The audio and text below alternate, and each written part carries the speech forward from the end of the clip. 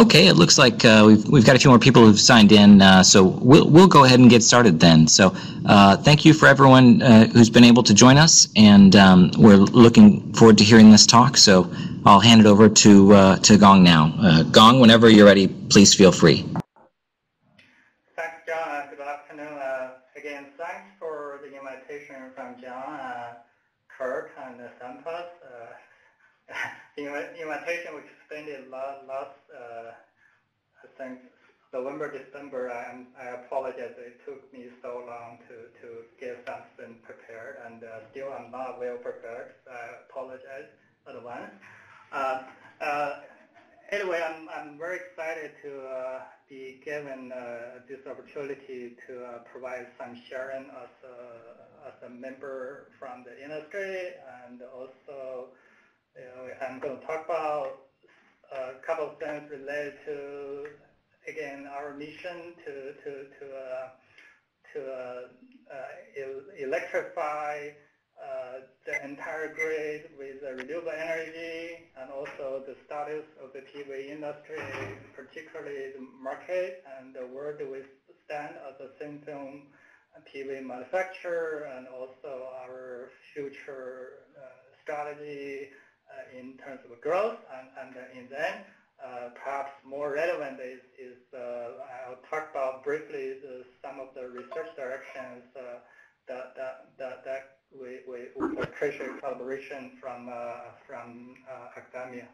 Um, okay, so um,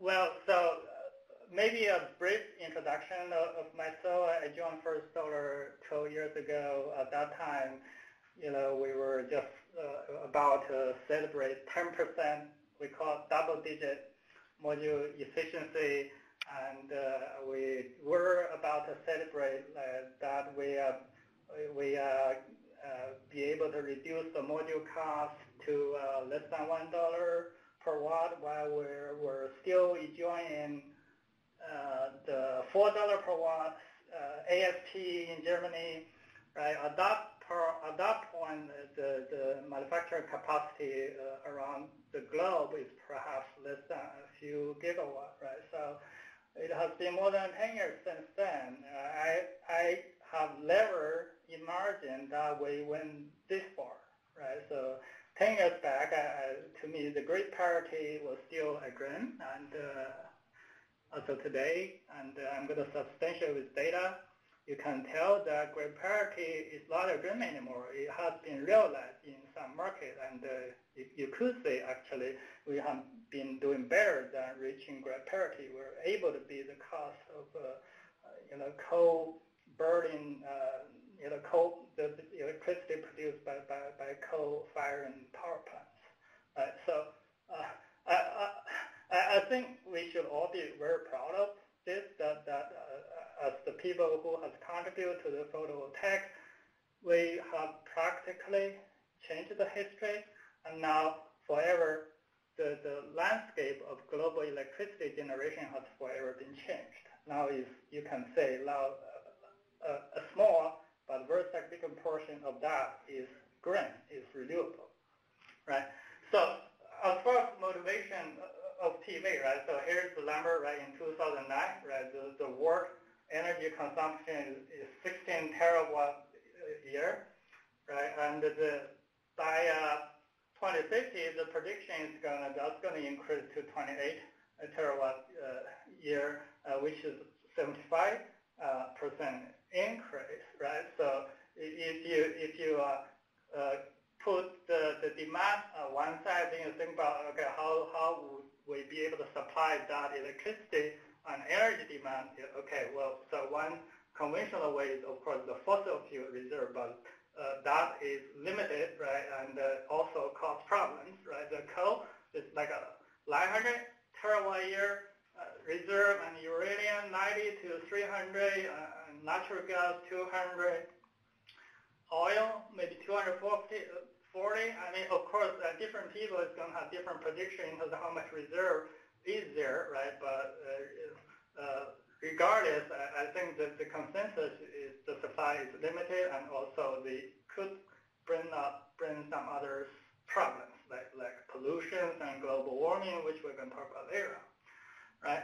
On the other hand, if you look at the renewable uh, per year, the hydro is still very little, three to four terawatt per year. Uh, um, when larger, 25 to 70, but if you look at the sun, it's 23,000 terawatt year, right? If you compare that with the global energy demand, right, you only need 0.1 to 0.2 percent of that.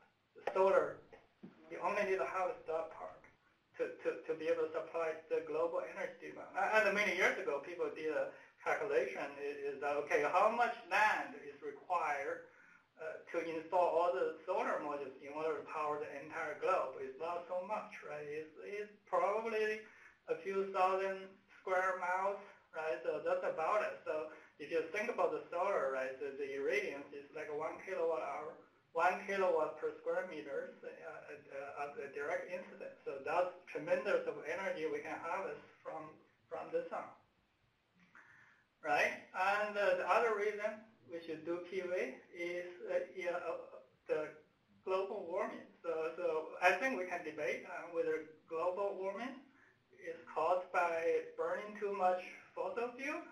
Uh, but there are two points to argue about it, right? So one point is the global warming, if you look at this data, right, the temperature rise at land, the temperature rise in the same for the last 150 years, that has been a real trend right? So, so whether this is caused by burning fossil fuel, that's to be debated, but you could always argue the generation carbon dioxide is, is a good thing, right? There's a lot of evidence or motivation that we should do PV, right? The, the other thing is, uh, you know, because of all this uh, the human behavior and that impact to, to, the climate, we start to see more extreme weather in the U.S. and I mean, globe, that costs money, right? In U.S., for example, the, the wildfire in California and the heavy rains, the mudslide, and then floods, that could cost $300 billion a year, and that was just something we, we, we right? And one more motivation. So electrify the grid, and now there's also a demand to electrify the transportation, right? So the electric cars now start to become the mainstream, right? So this chart basically showing uh, from uh, through the last 10 years, right, the number of uh, electric car models has increased from a few to more than 60. Uh, and in parallel, very similar to the cost reduction of solar, uh, the cost of lithium battery has pretty much reduced by 10 times, right? So, the, so basically, the electric, uh, the transportation, electrifying the transportation is become a reality, and that would need more electricity, and where do you want this electricity to come from? Of course, you want something renewable. So I um, provide uh, quite a few uh, strong motivation that why photovoltaic is something we should uh, not only be proud of, but also something we should really commit to. And here's just some more uh, uh, things suggesting that this is going to be a, the main trend, and it's already become the main trend, right? So, so here, this is basically uh, the, the world electricity generation by, by energy source, right? Where you see the yellow portion, let me see what I can have the laser pointer. Well, the yellow portion, that's the solar PV, right? So if you zoom in, just look at from 2010 to 2020, you start to see growth, but moving forward, you can see a much stronger growth uh, it's until 2060 where you start to say, okay, maybe you start to saturate, but that's not really the case. I think when people did the prediction here, they're trying to say, okay, this perhaps this one third of the energy supply, electricity supply uh, without the storage. If you factor in the storage, I think there's a possibility solar PV can be 100% of the electricity supply or pretty much close to that, right? So a lot of things you can tell is, is, is that the, the, you wouldn't see much growth from coal, oil, or, or natural, natural gas moving forward, which are underneath here. So um, so anyway, so I'm going to talk about it more uh, later regarding this, but uh, let me move forward uh, and start to cover something about the PV industry. How did we grow? Right. Again, let's do some size comparison. Right. So, so imagine this big circle is the U.S. total energy demand, right? So which is about 30,000 terawatt hour. And uh, within that big circle, the electricity demand is a smaller circle here, right? And then if you look up uh, the global PV, right now we are just a, a, very tiny pie here, right? And then if you look at uh, the global energy demand, right, it's, a much bigger circle. So, and the PV now is still a very small portion, but very significant portion of that. Uh, uh, it's already getting close to, to, to 1 or 2%.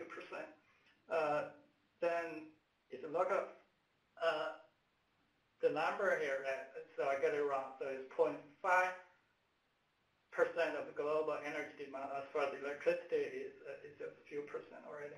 And if you look at First solar, it's a, a rather small portion, but hopefully it's a significant portion, right? So if you look at the dimension, the size, right, you can see a very tremendous opportunity, right? Uh, and uh, right now, SMPV is still relatively small compared to the regular conventional energy supply, but we're starting to become the mainstream right? And, and the size is already something it's fairly impressive, right? So I, I, will give you some example, right? So this one is just uh, one power plant we built five or six years ago. The Topaz solar farm is like a 550 megawatts. It has a video, but unfortunately I don't know how to play it with the online sharing, but uh, so this is a 550 megawatt uh, uh, solar farm. Uh, if you just drive around, this solar farm is probably going to take you about an hour, right? And this this one was purchased by uh, I think Berkshire and uh, as, uh, as some kind of retirement funding. So basically, right now, solar power plant is considered to be able to provide very steady cash flow to to a, a few retirement funds. That, that was uh, that was their consideration. Uh, last year, actually, last September, I was in California. I I, I toured uh, 220 uh, megawatt power power plant constructed by by First Solar, and it's called Flat. Uh, among that 220 megawatts, so I think a portion of that was uh, directly uh, electricity purchased by Apple, and then the, the rest was purchased by PG&E. So we, we took about an hour just uh, just drive through the entire power plant. That was, that was very very impressive, right? And that that is in U.S. So again, this is just the bird view of Topaz, right? So and one more time, it's the largest investment-grade renewable bond in history. Um, and this is something we built in Australia, 110 megawatt. We have quite a few of those in Australia.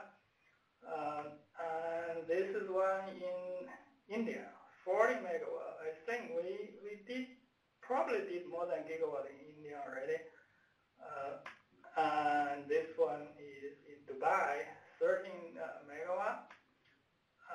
Anyway, so this is quite an example saying, okay, even we're still a very small portion of the electricity portfolio, but as far as the size and dimension, we are already, you know, close to 100 gigawatt a year, right, for the global PV industry. So for solar, we already supply and install more than 20 gigawatt of thin film solar modules in the world. Right.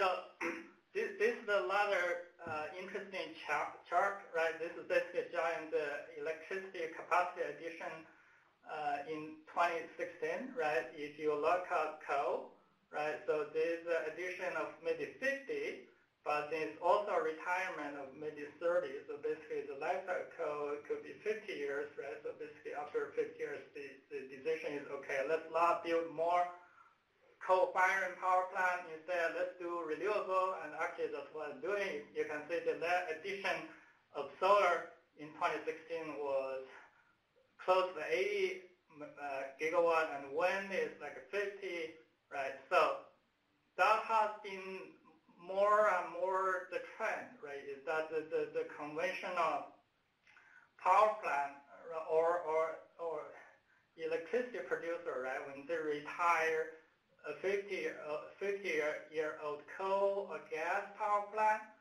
they do not build new coal or gas power plant. Instead, they, they, they, they, are more interested to build the solar uh, or, or, other or rely on other renewable, renewable, renewable energy source. And part of that is because, uh, of course, there's a belief that renewable energy is future, but also I think more driving reason is that more and more the solar becomes more economic, economical, becomes more make sense, right? Actually, you might be able to benefit you in terms of having more dollar in the pocket.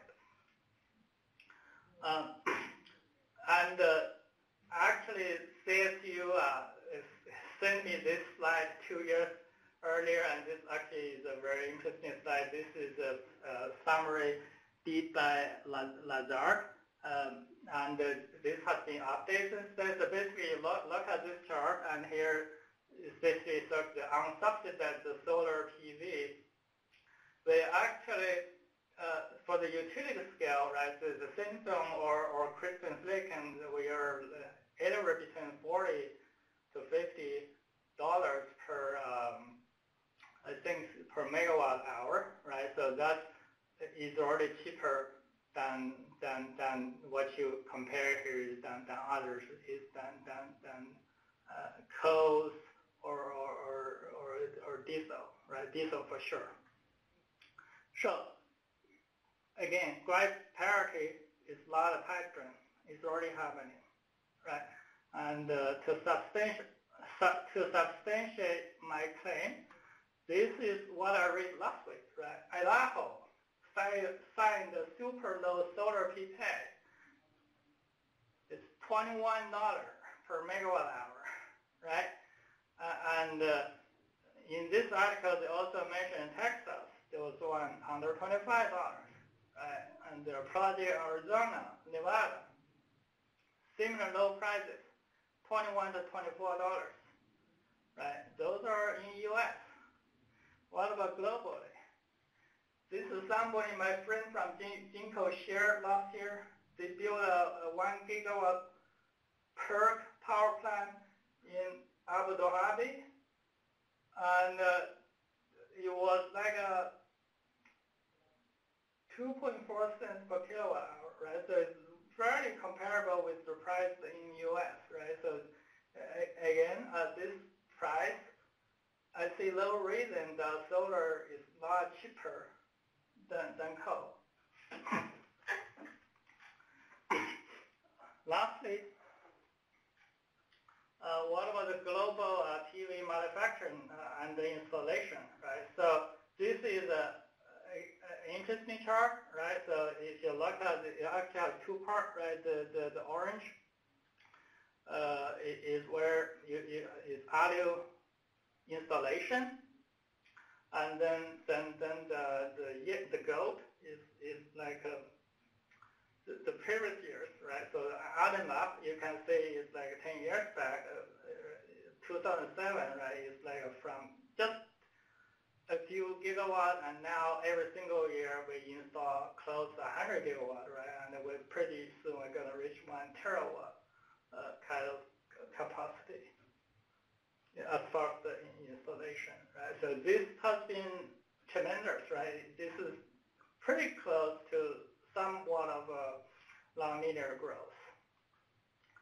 Uh, okay, I think I've said enough uh, about um, uh, the our mission, right? Why should we do PV? Why PV makes sense, right? Not only it not only makes sense just for um, to to make the Earth a better place to live, but also make sense economic-wise, right? So, okay, back to uh, what we do uh, for solar. So we uh, manufacture CdTe uh, thin-film solar modules, right? So uh, let me start with, with the basic, right? So what, what is a CdTe solar cell? So uh, so basically, we use CdTe as an absorber material, and CdTe, unlike silicon, it is a direct semiconductor, so it has pretty strong absorption to, to sunlight, right? So we only use 3 micron of film, right, to absorb more than 95% of, of, the, of the solar light uh, above the band gap, right? So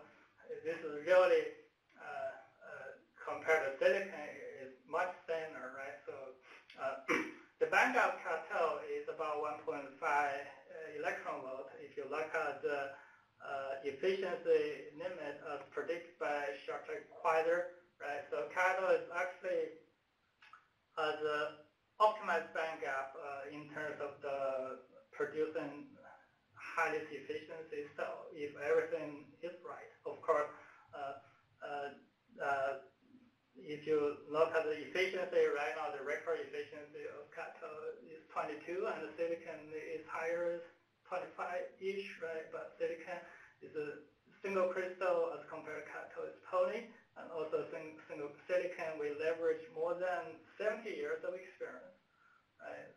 From the semiconductor industry, and CdTe is relatively new, right? So but at, at any rate, the ideal efficiency theoretically should be close to 30%, right? And practically, we already made 22, and uh, we should be able to make 25% uh, within foreseeable future. Um, so another two things to mention about CdTe is that it is really uh, forgiving material. I mean, that's very important in terms of manufacturing. Basically, you can use very high rate deposition. You can produce polycrystalline film, right, with the grain size a couple of microns, but it really doesn't hurt us much, right? So you can still make more than 20% cell with the polycrystalline high high rate deposition, deposit film, right? So and also the band band diagram of cadmium telluride is very very simple. So and that's one advantage is that is that when you prepare the material,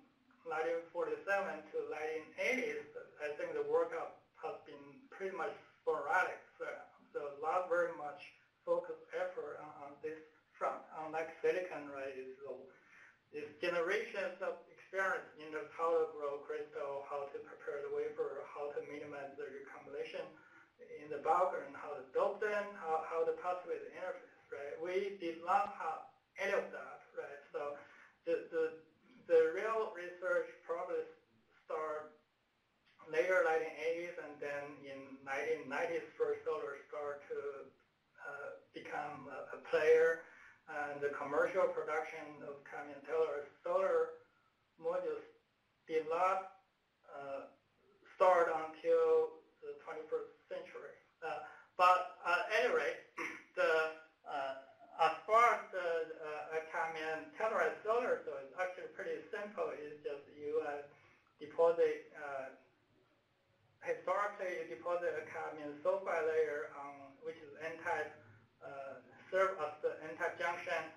You deposit that on the TCO, which is on glass substrate, and then you deposit this P-type catalytic layer, and then you put the metal back contact on top. And that should form the junction, and that should be uh, the solar cell, right? You shine the light from glass side, it should produce electricity depending on how, how well you do it. On the right side is a cross section of a conventional CdTe cell, right? So basically you can see uh, it's polycrystalline CdTe structure. You can see the calcified is also small, very small grain size and not very uniform. Right? But that has been the basic. That has been something uh, very different from silicon or gallium arsenide. okay, so just some more. Uh, slide uh, on the polycrystalline structure of, of the, the top, uh, sorry, the bottom left is, is the electron beam backscattering uh, pictures which basically highlight the different orientation of, cadmium telluride, right? So it's not a, it's not a very, there, isn't much a preferred texture here. It's pretty, pretty much rounding oriented, and uh, after that, we still don't know which orientation works better and so forth. Doesn't really matter much, but we, we don't know for sure. Uh, to the right is something very interesting. Is uh, uh so this is actually a, a, a time of flight secondary ion uh, mass spectroscopy, uh, and basically it highlights that there's a chlorine decorated on the grain boundaries, which has been believed crucial in terms of passing the grain boundary to get better absorber quality. And that's perhaps the biggest uh, discovery during the earlier date of cadmium telluride PV. Okay, uh, so so I, I talked about uh, the CdTe uh, solar uh, cell structure, right? And this is the old structure, where again we have calcified as the emitter, we have the CdTe as the absorber, and then the metals by contact. And this, with this kind of structure, we were actually be able to I mean the community, we're able to make more than 16%, 16.7% devices. Basically, uh, but that's about it, right? So uh, NREL and Dr. Wu, uh, he made this, and then uh, we were allowed to be able to break his record for more than a decade, right? So 16% uh, cell although was a record at that time for CdTe, is really lower compared with silicon, which is already 22 to 25%, or CIGS, which was 22% uh, in, in like a 10 or 15 years ago, right? So, which wasn't really good enough, right? And that was primarily because, you know, there's certain certain sense uh, we didn't do very well. For example, the CdTe absorber, right? The lifetime is pretty short. It's only one to two, two nanosecond as compared to, to silicon. It's like a three or four magnitude lower, right? And uh, we really cannot dope it well, right? And also the back contact is not ohmic, right? So, and also this, uh, this calcified is actually absorbing the blue light, right? So there's also pretty high recombination on the front interface as well. So if you compare silicon or gallium arsenide with CdTe 10 years ago, CdTe is really nothing. It's really, a lot of things are bad. But uh, fortunately, and thanks to, to, to the entire cadmium telluride community, this has been evolved. And now we have been much better.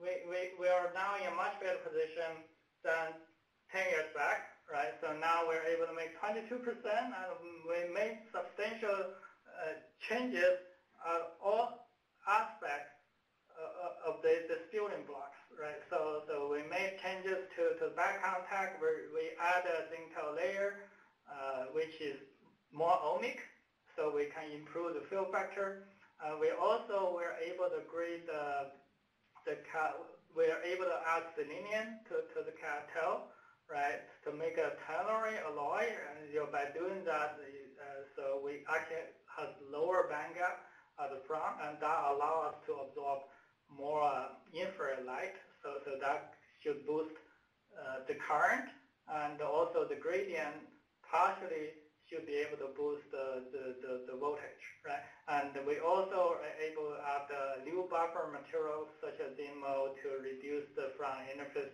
recombination. So with all that, uh, we were able to make 22% efficiency, so which was a great progress. Right, so again, if you look at all the effort that invested in the in the last decade, right? So uh, from 2011 to 2012, it, it, that's where the, the, the effort started to pay off, right? The first breakthrough was, was on, on the back contact improvement, right? So by using or Tellurian as contact, you were able to improve the efficiency significantly, mostly driven by the fill factor. And then um, the lifetime of the absorber starting uh, follow, right? So and that's again driven by adding selenium into into the absorber, which somehow uh, increase lifetime and also having a better annealing procedure should be able to help to pass with the defect, uh, the grain boundary and also within the grain. Right? So that's a rather big improvement which lead to a few tens of efficiency improvement. Uh, and then uh, the gradient absorber, right? So it's kind of optimization there. So is, is you have more selenium to the front and less selenium to the back, you're able actually to have a little bit uh, internal electron reflection that should boost the VOC, right? So that pretty much covers the, the, the, the progress uh, into the CdTe solar efficiency accomplished by the entire CdTe community in the last 10 years. Uh, and one thing I should say is, is that why we're doing Cadmium telluride is that, uh, I mean, as a thin-film technology, uh, it inherently it has some advantage by using less material, right, and also use less electricity, so has very little carbon emission, is 10, 70 times better than, than the model silicon in the uh, PV, right, in terms of carbon emission.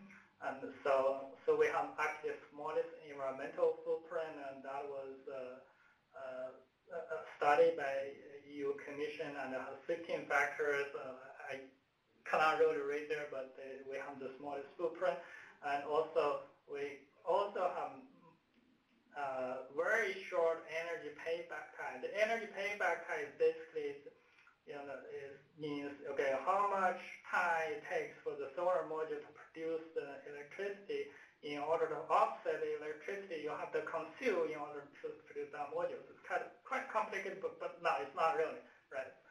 For the case of CdTe, it's only four months. This is also better uh, than silicon.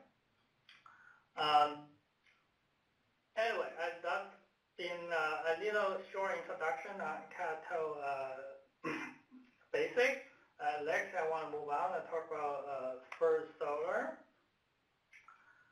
Right, so we uh, differentiate ourselves from silicon is that we do inline processing, right? So basically, we'll start with piece of glass, and then deposit TCO, then you start to deposit semiconductor, and then you do the laser scribe, and uh, to, to kind of cut the cells, then you then you do the interconnect, and then you do the encapsulation and testing, and then you make a module. Know, it takes less than four hours uh, to make a module with the incoming glass, right? So so the difference here is uh, we're using a large glass substrate uh, for our Traverse product. It's like a 60 centimeter uh, to um, uh, 120 centimeter, uh, times uh, 120 centimeter in size for our latest product is 1.2 by 2 meters in, size. So it's pretty big as compared to the wafer.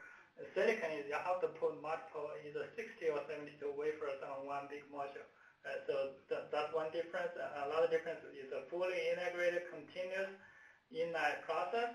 And because we are a direct a band gap material as opposed to silicon being indirect, we are able to use less material to, to absorb the same amount of uh, um, uh, light. Right, and that all of that in, uh, help us to uh, realize a lower uh, carbon footprint, a faster uh, energy payback time. And also we do the manufacturing pretty much everything kind of in-house, so we, we probably, probably benefit from a better quality control uh, as compared to silicon, which is a batch processing. You start with, with the polycrystalline uh, raw material, then you start to grow crystal, then you count in the wafer, then you start to make solar cell, and then you put it on a module, and then for testing. The entire process takes about three days, and uh, very often people rely on downstream, sorry, the upstream supplier to, to, to, to, to, to provide the semi-finished goods. Um, okay. Well, but even for us, we have been a long way, right? So, so uh, in, in 1995, right, that, that was before the first solar, uh, is Solar Cell Inc., right? And then 1999, it, it becomes First Solar.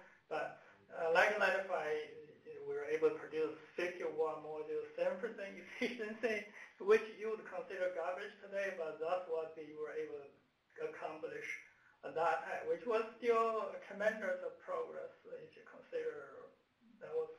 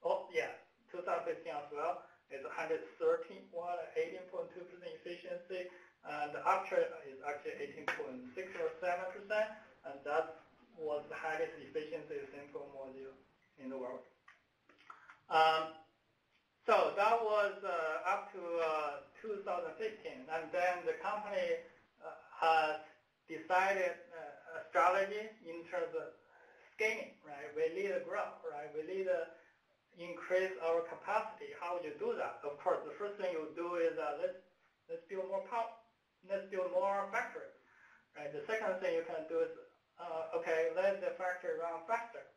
The third th third thing you could do is okay, let's just make bigger panels, right? We did all of those, right? We we build more factory, of course, uh, but largely we, we want to say, okay, let's build more factory, but larger substrate size, on larger module. Let's build more factory. Let's build, be able to produce larger module, right? So the, the, the, the learning with leverage was, okay, based on the, the large panel display industry, right, it's getting cheaper every day, and also the screen size is getting bigger, but it's getting cheaper, right? So it's basically when you do the scaling exercise, right, so let's say you double uh, the, the substrate size, right? Your, your, your equipment cost per substrate size actually goes down, right? That, the same uh, methodology works for, for uh, large color display. It also works for, for silicon sonar, right? So by doing this, we are able to reduce the cost of solar module manufacturing and uh, consequently, we are also be able to install the cost of installation. So that is kind of the benefit added up, right, is really a substantial reduction of the balance of system cost. And that's exactly what we did with uh, what we call the Series 6 product, right? So Series 4 is here, right, is 0.72 meter square. Uh, Series, Series 6 is 2.4 meter square. It's, it's about three times the size, but you don't spend three times the money to, to make the module. Right. So just some key uh, advantage of Series 6 product, right? So right now, the leading line in Ohio, we are producing 18.2% efficiency already, right? So we already pretty much getting close on the efficiency target that we committed to, to the customer, and the energy yield advantage as compared to, to the silicon. Uh, it's basically that we are more robust against uh, uh, the humid environment, right? And uh, we also have lower temperature coefficient. And after all, we still maintain the, the, the market leading uh, reliability, right? So, and one more advantage I didn't mention is that the, the more watt per module, actually your, your, your labor cost during installation is also cheaper. I mean, not only you're reducing the, the balance system component cost, but also you reduce the, the, the, labor cost. And then we also have a, a very innovative framing, right, which is underframe, and that basically you will not reducing the size of active area, but we actually be able to make the module more robust and also um, make the installation easier. And that's our Series 6 uh, product, and we launched that product last year, and I'm going to show you what's the capacity now. Right, so so basically, as of now, we still have we still have a two gigawatt of Series 4 uh, uh, capacity in Malaysia, uh, and in parallel, we have 600 megawatt Series 6 capacity in Ohio. Uh, we, we, we start that in start production in 2018, and uh, we have uh, another 1.2 gigawatt of Series 6 factory in Malaysia, which also start production in 2018. And then we have two factory in Vietnam, which is one of the already start production, another one is under construction, and, and adding them together is 2.4 gigawatt, right? And then we have a plant, second plant in Ohio, 1.2 gigawatt, Series 6, that's under construction uh, already in Ohio. So, so and on top of that, there's a plan of building a second Malaysia Series 6 factory, maybe next year. Um, so adding up, right? So we have 2 gigawatt Series 4 in production and 4.2 gigawatt Series 6 in production. So uh, as of today, it's already 6.2 gigawatt of the total capacity. Then we are adding 1.2 gigawatt in Ohio. So that's uh, under construction, which will be ready end of this year. So in, in, total, we are talking about uh, 7.4 gigawatt of global uh, uh, manufacturing capacity, and uh, among them, 1.8 gigawatt in is in the U.S. So we we remain and will be actually bigger. we so we are we are the biggest U.S. PV manufacturer, you know, with with all the ca capacity on hand. Okay, so this is just uh, something to show with, with uh, our Ohio factory is total 1.8 gigawatt, and the, board, the bottom right is what you see in, in the factory. Uh, and this is the our Malaysia factory has six factory at the beginning. Right now we kind of combine N5 and N6 as one uh, factory, but with larger capacity as compared to before. Okay, finally, let's talk about some of the research progress we have made recently, right? So uh, what's the opportunity for, for kind of research? I think uh, nobody's going to argue about this. The CdTe, as far as we'll see, we're still pretty far away from, from the ideal. We are probably 150 milliwatt away. If you compare the record VOC we have uh, and with the, the, the that was established by single crystal CdTe or single crystal gallium arsenide, right? So we are 150 milliwatt short. That translates into efficiency is close to 2 to 3% efficiency, which is pretty big for us to, to invest, right? So how do you improve VOC, right? So this something you can do is uh, to reduce the recombination uh, in, in, the bulk, but based on our current assessment, bulk lifetime, is, as we measure, and also CSU has some good number on this too, is anywhere between 100 nanosecond to 1 micron so which is probably okay, still not as good as compared to gallium arsenide silicon, but it's not the level one concern for us. Uh, the other two is, uh, is you can leverage the passivation. For example, is how to how do you pass the back contact contact as you can with silicon or, or, or gallium arsenide. We do not know how to do this yet. Right? That's something remain green. Um, but one thing we do know better than five years ago is we can do doping better, and that should boost the built-in voltage, and then in, in return, it's going to get you a higher VOC, right? So, so why doping has been a critical issue for us, right?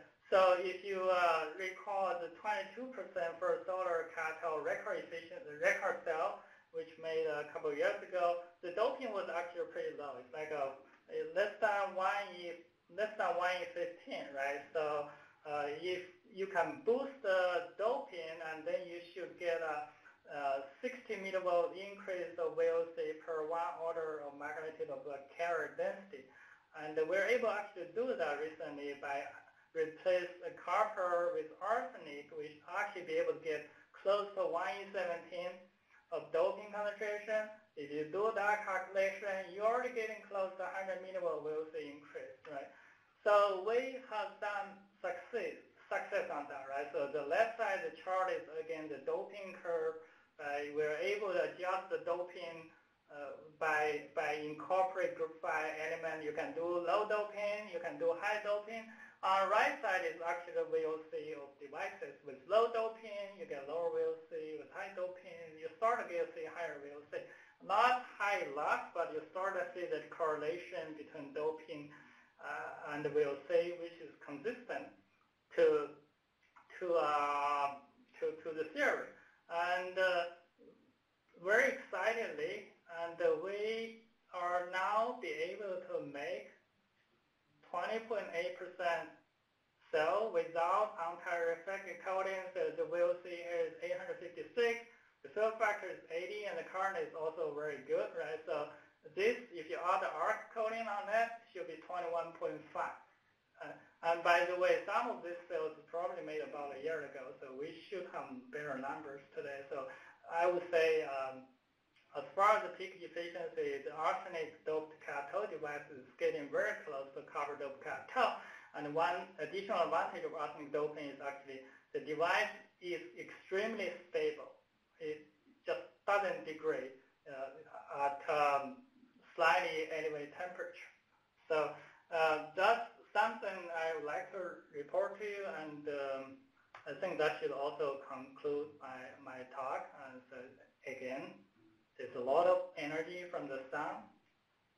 You, can harvest, and uh, is a great technology for us to continue to, to work on, right? And we are expanding our capacity uh, the same as our silicon uh, friends. That's about it. Thanks uh, very much for listening to my talk.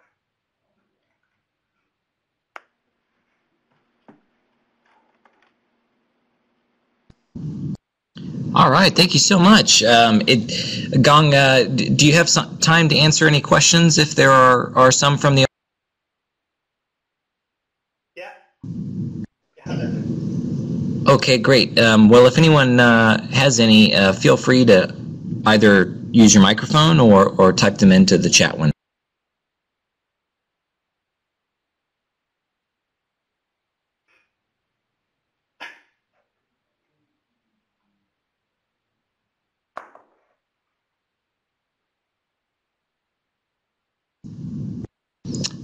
I'm not sure if you if you can see the uh, the chat at the moment. There's a few people type, typing, so there may be a question. Just a moment.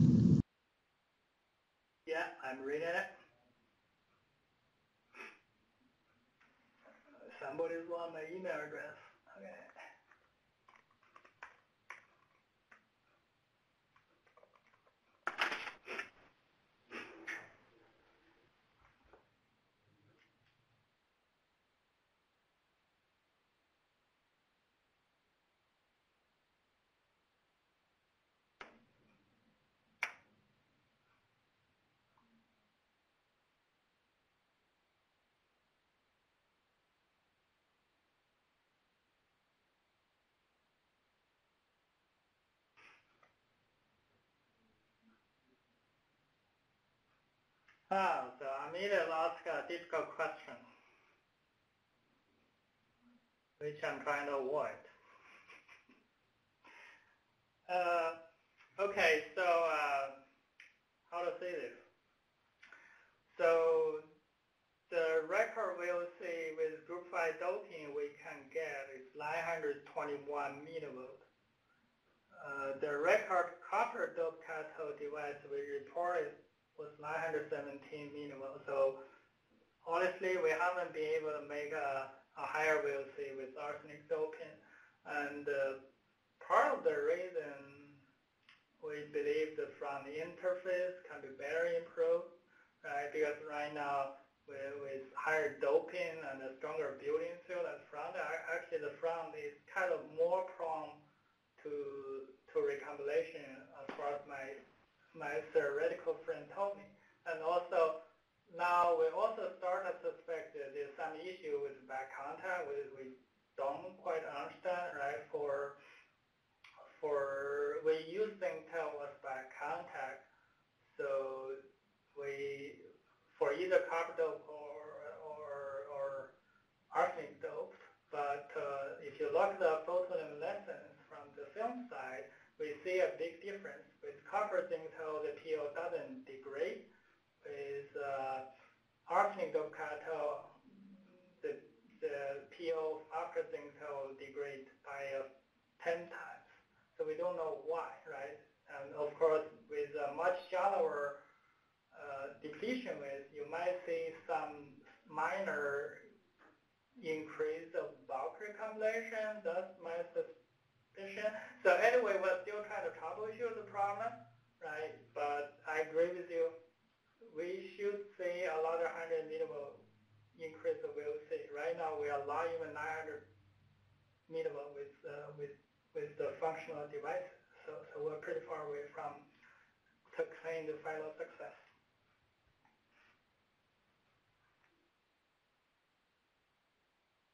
The percentage activation in Group 5 dope device is typically 3 to 4%, although occasionally we can hit 10% activation. In single crystal, I have read report from 20 to 50%. Uh, we haven't seen that in, in, in poly devices.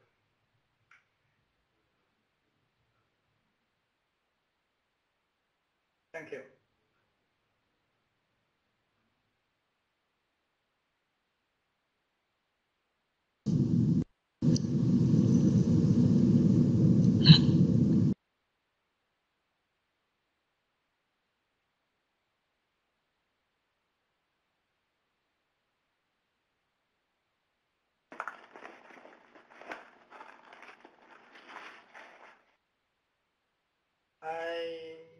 I'm able to share the slide. John, I think you,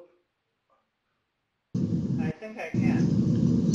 Uh, yeah, if you if you'd like to share the slides, I can I can put them up uh, available when when we post the video as well. It, it, it's a okay. You already have the video. Yeah, I can share the slides. Uh, I might need to make some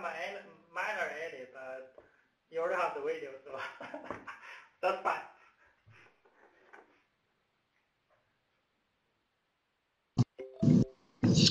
Uh, j- just to, uh, to to follow on, Brendan, if if you're unaware, we we uh, will be posting a, a, video of the talk. So uh, at a minimum, you can review the uh, the slides through the, uh, the, the video that will be on YouTube in the next few days.